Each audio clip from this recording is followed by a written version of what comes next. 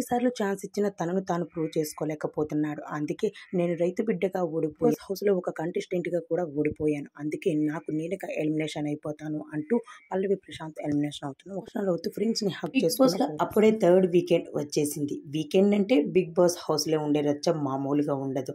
ఇక ఈ వారం ఒక లెక్క అయితే వీకెండ్ ఒక లెక్కగా ఉంటుంది. బిగ్ బాస్ హౌస్లో అక్కినేని నాగార్జున గారు బిగ్ బాస్ స్టేజ్ మీదకి వచ్చే మాటలకు తన కామెంట్స్కు అభిమానులు ఎంతగానో వెయిట్ చేస్తూ ఉంటారు ఈ రోజు కోసం. ఈ బిగ్ బాస్ స్టేజ్ మీదకి గ్రాండ్ ఎంట్రీ ఇచ్చేశారు హోస్ట్ నాగార్జున గారు తన హోస్టింగ్తో అందరిని అదరగొట్టేశారు.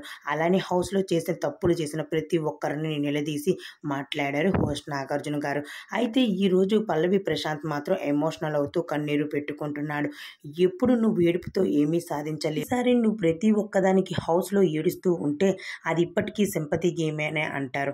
హౌస్ మేట్స్ ఏమైనా అయినా లేకపోతే నామినేషన్ టైంలో అయినా లేకపోతే టాస్క్ టైంలో అయినా నీకు ఏదో ఒకటి జరిగినా నీకు నువ్వుగా ధైర్యంగా ఆడాలి. అంతేకాని ప్రతి ఒక్కదానికి ఏడుస్తూ ఉంటే దాన్ని సింపతి గేమ్ అంటూ హౌస్ మేట్స్ అంతా నిన్ను తక్కువగా చూడటం మొదలు పెడతారు. అర్థం చేసుకో అంటూ హోష్ నాగార్జున గారు ఫైర్ అవుతూ ప్రశాంత్కి ధైర్యం చెప్పుకుంటూ వచ్చారు హోష్ నాగార్జున గారు.